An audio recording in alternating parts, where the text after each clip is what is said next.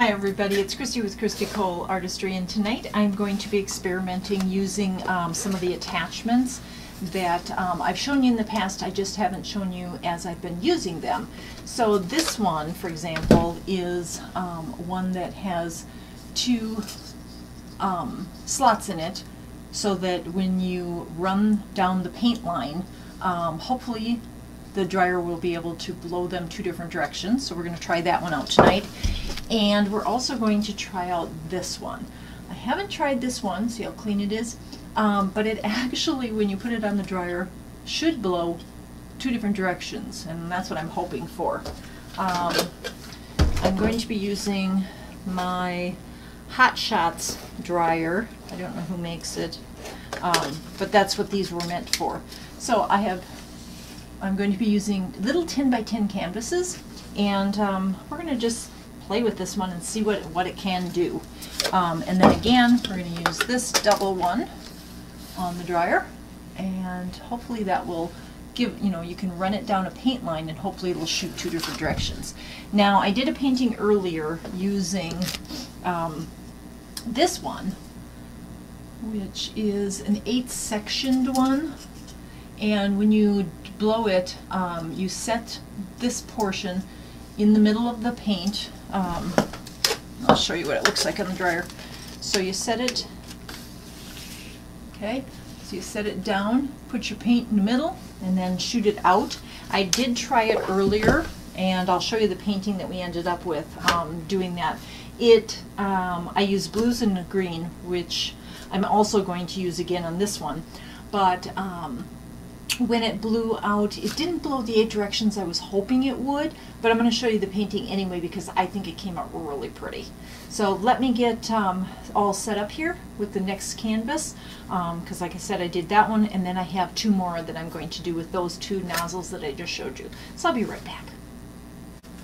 Okay, I am back and here is our little canvas and I'm going to quickly show you the one that I already did with the um, eight hold one.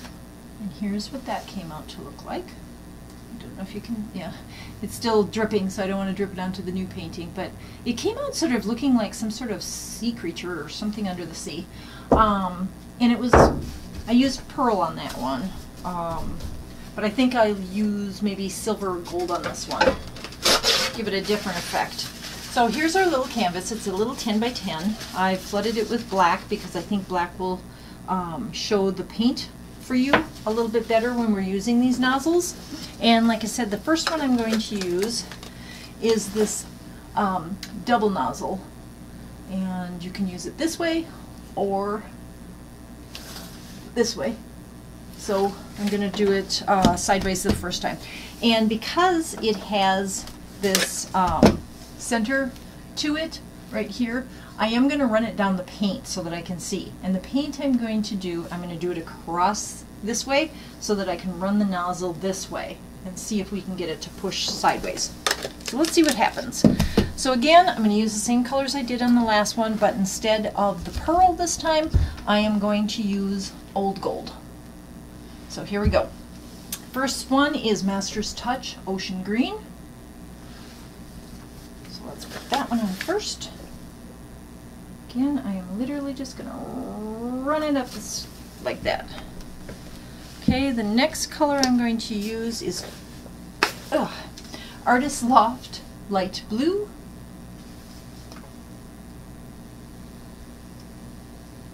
Okay, next I am going to use um, two of my favorite color paints, and they are Apple Barrel. They're Walmart Apple Barrel paints.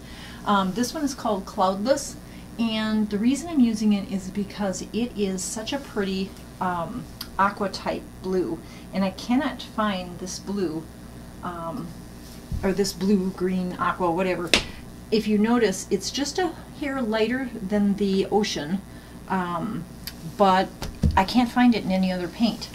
And the second one that I absolutely love is this apple barrel blue bonnet. And look at this color. It's so pretty you just can't, you can't find that color in anything else. And I haven't been able to recreate it using other paints either. So I like them. Um, And I'm going to continue to use them until someone else comes up with a paint that's similar or close enough to it. The last one I'm going to use is Master Touch Pale Blue. Love this blue as well.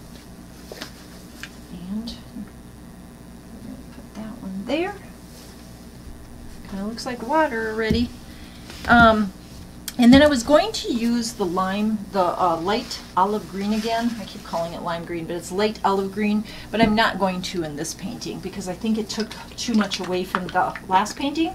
So instead, um, for a little bit of pop before I put the gold on, I'm going to use my Extreme Sheen Sky Blue Topaz. Okay, it will give us some cells and look at the color. It's so pretty. Look at that. Okay, now we're going to use our old gold. Um, I want to use old gold because I've already put the topaz in there. Um, it's an extreme sheen. I don't need any additional cells when I'm doing this. So I just want the gold to be sort of a accent to the color. All right, that's all we've got. So we're going to torch the bubbles in the color.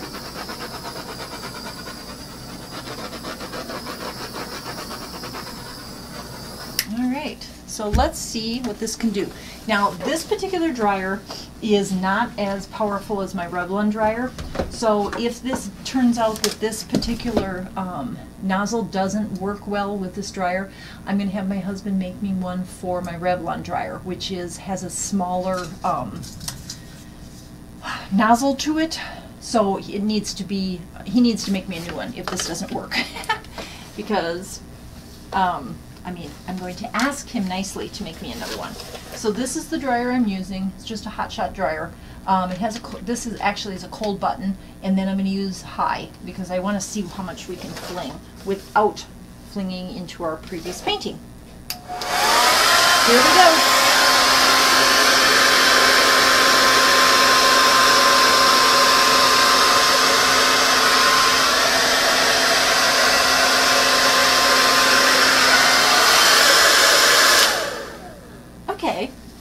that was interesting. It did what it was supposed to do, although I didn't have it centered enough. I lost a lot of the, the paint over here. Um, but it flew off a lot off of there. So I think if I had a larger canvas, it wouldn't have done that. So I'm just going to run it one more time because we're playing and I want to see what happens. I'm going to put it, I'm going to put it on medium though.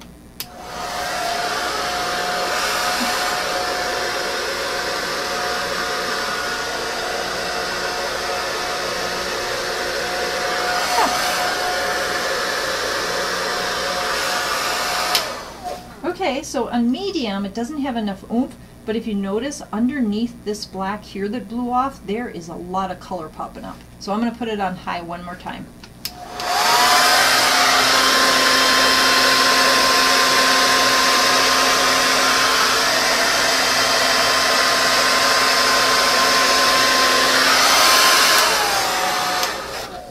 Okay, so it does what what um, it's intended to do. Um, it does keep along the center. Um, but let me look here. But it also blows a lot of paint off. So that to me that was a kind of a lot of waste of paint. On a bigger canvas, I can see this making some absolutely beautiful thunderstorm type paintings. Um, I just don't know what happened here, why it isn't collecting back together. So, it is kind of pretty though. It reminds me of, um, not thunder, lightning. Am I thinking? Can't paint a sound. So I'm just going to pick up some of this and then see if I can move this back over before I lose it all.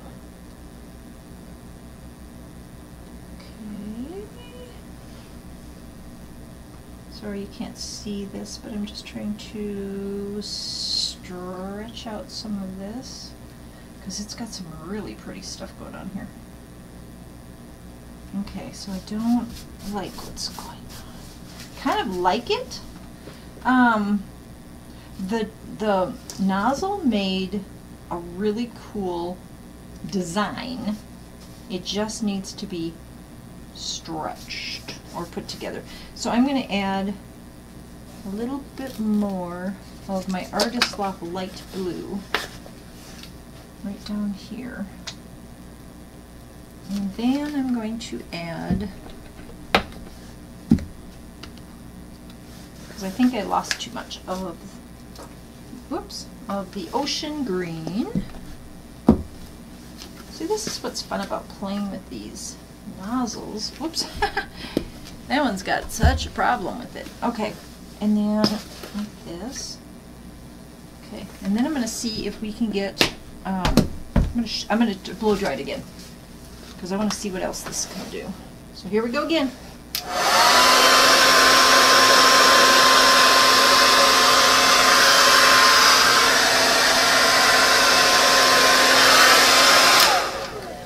Okay, now I like that. So what it's doing is, is it's giving, can you see that?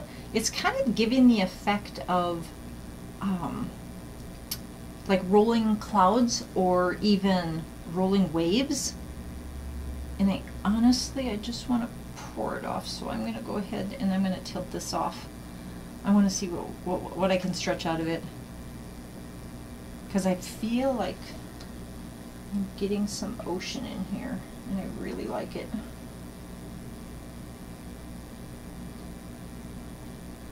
Okay, there. I really like that. Look at, look, look at, isn't that pretty? Isn't that pretty? That's cool. Okay, so I kind of like what it did. That one was that one was a little funner than than the last one um, because it did do that, and I was able to. If I did two stripes, I think if I blew two stripes, I would have got some really um, intense uh, action going on here. Versus, I mean, I love this. Look at that. Isn't that pretty? That is really cool. And I'm going to bring you down so you can see what I'm seeing. But um, let's, um, I'm going to put you on pause. I'm going to get the next canvas ready for our really crazy one here. And we'll see what that one can do. All right, I'll be right back. Okay, everybody, I am back and I have flooded my last canvas for our experiment tonight. Um, and as these are paintings are drying, they're really looking nice. All right, I'm going to torch the bubbles on this one. Just having to get some of the edges covered here. Because with black, white shows through quite easily. And I know I'm going to have paint running over the edges, but I just want to be sure that there's enough paint to make the edges look nice. The other paintings are still slowly dripping down, so I am scraping them in between. And um, we will blow, torch the bubbles now on this one. See a bunch popped up. So bubbles torch there, and then we will uh, start the colors on this one. Um, we did the one with the lime green, we did the one with um, all of the blues and the, um, oh, what did we use? We used pearl on one, and did we use silver on the other one? I don't recall now. But um, this one, I am going to start with a darker blue. So I'm going to start with my Liquitex Basics Aquamarine. Okay, then on top of that, I have decided to use, again, the Artist Loft Light Blue because I like the way that came out. I am again going to use the Blue Topaz because I like the way that shimmered on the last painting. I'm going to use my Master's Touch Pale Blue because it goes well with the other two or other three blues. But then I'm going to add my DecoArt Extreme Sheen Rose Quartz. So we're going to add a little pink to this one.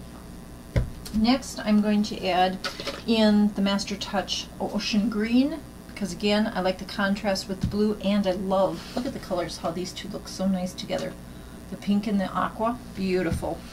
And then on top, or someplace in between, I haven't decided yet, I'm going to use the old gold again. I don't want um, too many cells. I've already got two extreme sheens in here. Um, and I want to be able to split up the paints. So I think actually the gold might go next to the um, ultramarine blue. Okay, so on this one, we are going to try out the craziest one yet, which is this double one. So it is a double, and the, it's directioned two different ways. I can do it this way or this way. And I think for this painting, I'm going to actually use it this way on the blow dryer, and we're going to try going up the side again like this. And see if we can just get it to blow out a little bit more than we did on the last painting. Um, again, without blowing it into our previous painting. And then when I'm done, I'm going to show you all three of the paintings when we're all done. So now I knew on the last painting that um, when I ran it up the middle, um, for some reason it seemed like there was more black in here. So I'm actually going to run this one this way, just knowing that um, on my table, evidently the black is pooling a little bit more on this side. So we're going to try it this way, I guess. Yeah. So we'll go like this. And hopefully it'll just shoot kind of like a Dutch pour, um, or a, yeah, Dutch pour without um, um, picking a direction. I'm hoping this will pick the direction, but we'll see. Okay, so again, I'm going to start out with ultramarine blue. Move this out of the way. Okay. And this is my bottle with the top that hasn't been cut yet. One of these days I'll remember that and cut it. Okay, so ultramarine blue on black looks um, neon almost. It's so pretty. Okay, then I am going to add the gold now because I don't want the gold to overwhelm. Um, and it looks really good on top of ultramarine. Okay, next is going to be our ultra, or our, excuse me, Artist Loft um, light blue. Okay. Next is our topaz, which is where we're going to get the extreme sheen um, cells from. Next is Master Touch Pale Blue. Okay. And now on top of that pale blue is where I'm going to put this rose quartz. Because that means I've got a slight layer of paint in between the two extreme sheens and I'm hoping I get some shimmer and shine out of that. And then on the top here I am going to put my ocean green because I love how it looks with that pink. And I believe I'm just going to add a touch more gold because I would like some gold to shine. There. I like those colors already. Okay, I'm going to torch the bubbles.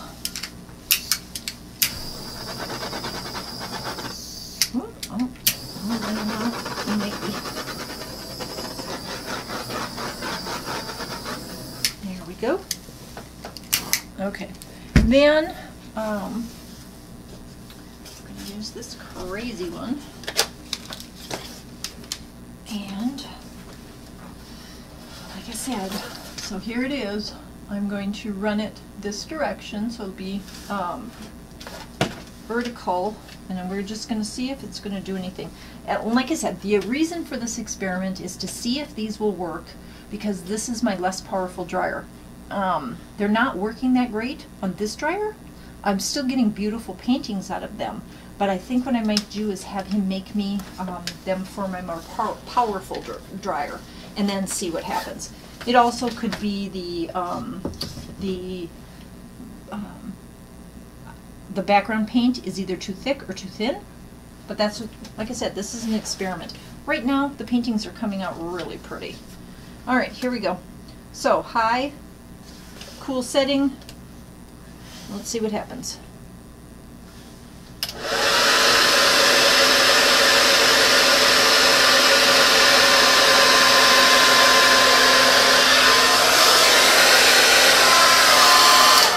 Okay, the first pass was odd because it pushed this paint over like I was hoping it would, and you can't see it, but it's got some really cool wave action going on, but it almost brought too much black over. So I am going to try it again. I'm going to go the opposite direction in the hopes that I can bring down um, the paint shooting out this way like it did over here. So I'm going to go the opposite way and try it again.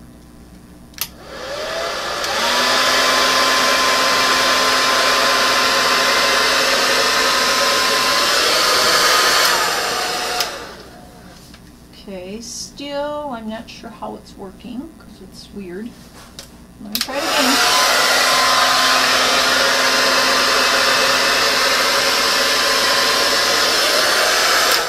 Okay, now that worked.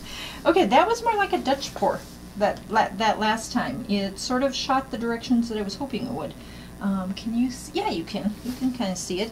So again, it looks sort of like um, clouds or lightning in the sky. I'm just going to scrape some of this off. I think I have too much black paint on here. I like it. In underneath here, um, there is color popping. So we're going to torch it and see if we can drag some of that out. Okay, and then just a second. Let's see. Let's see what we can get out of here. Yeah, there is some action going on. Um, I don't know if you can see it. I'll lift this up a little bit. You can see right in here, look at all that. And then here and here and underneath here, I can tell that there's stuff happening. So what I want to do, like I did with the other painting, is I'm going to stretch it out a little bit both directions. Be careful so I don't lose all of it. Oh, but there's some some crazy stuff going on now. Look at, can you see? Look at those colors.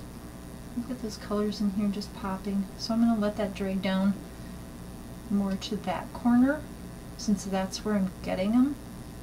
The stuff in this corner seems to be too far under the black. So if we stretch it down, maybe we can bring some of that out as well. But I do love what's going on in the middle. That is crazy. Here we go. I'm to bring back to there. I really like this. Look at this. Isn't that cool? The colors just are so... I don't even know how to explain it. They're just sort of um, developing within themselves.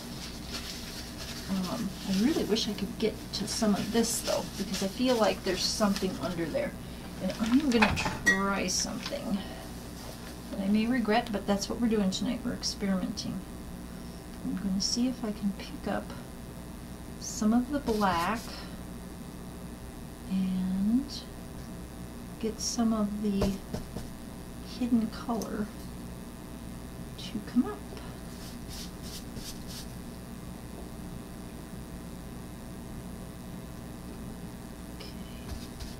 So got rid of a lot of the black. So now what I need to do is bring this down, bring this back over.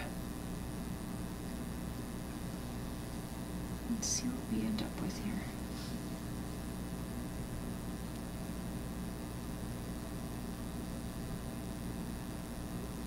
Of liking this.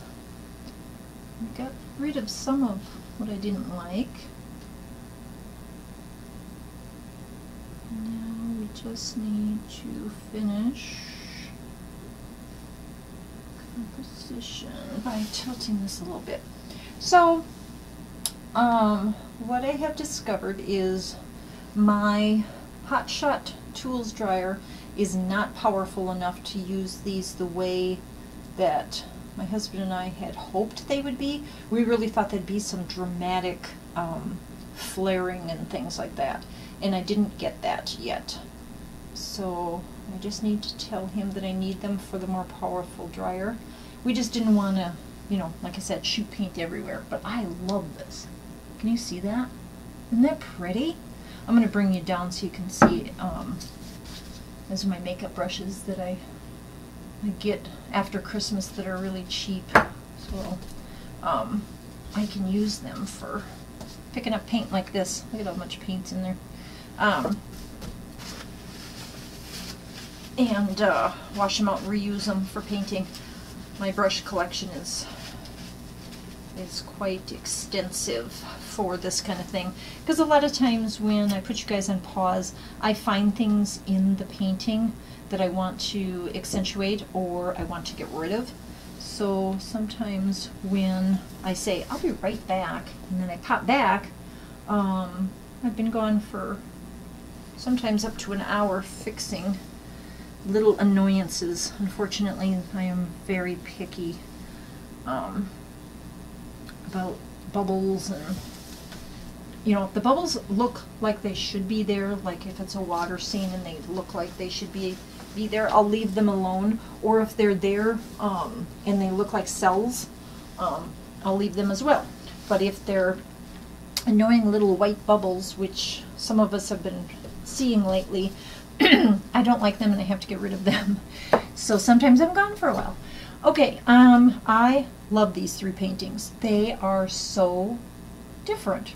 And I love the colors I chose. I'm glad that I changed out the colors a little bit in each painting because I really like them. I'm going to scrape the bottoms again of all of the paintings. I haven't done this one yet, so I'm going to do that now.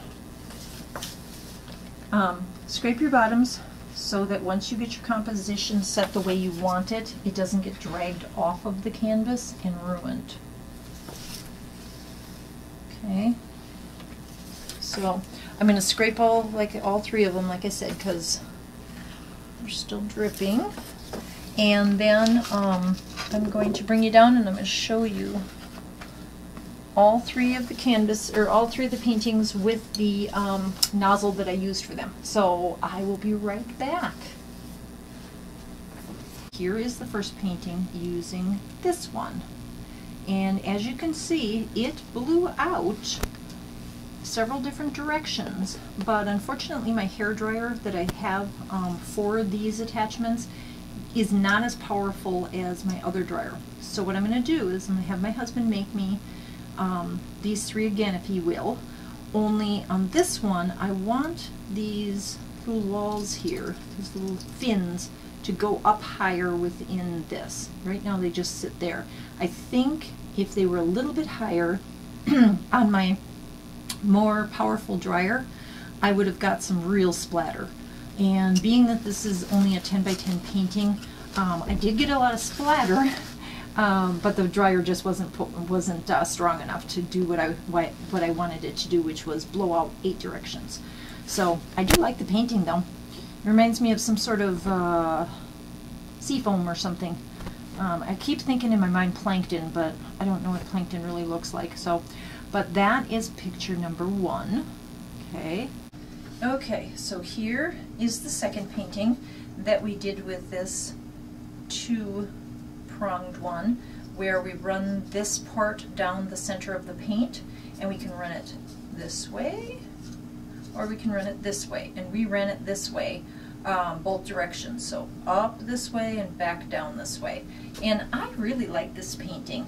Um, I want to bring you in, oops, sorry, I'm going to bring you in and show you the cell action that happened, not only by the colors that I chose, but because I did use pearl in this one, but also look at the cells just from running this up and down here. So we have this solid line where we added that extra paint, but then we have all this extra blowout that finally popped up through the black paint, and I really like it. I think it really looks pretty. So that is our second painting using this one. Now, lastly, oh, I have to tied my cord here because I don't want it in that painting. This is the one that we did using this crazy thing.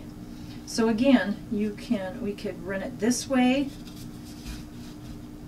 up and down, or we can run it this way. And the idea is, if you look at it, that it should shoot the paint two different directions. See? So it's really kind of neat. But again, it, I think it needs to be on my more powerful dryer. And I would love to see it on a larger canvas using, um, on my other dryer. So here is the final painting. I really like this one too. I love the way the gold and the pink and the um, topaz mixed in with the um, non-metallics or non-extreme sheen, sorry, uh, paints and ran across the canvas. I did turn this one, I think. No, I did. I blew it this way and then blew it back. Um, but yeah, let's look at the look at look at the cell action and what happened here. So here is how the gold mixed so well with the pinks and the turquoise.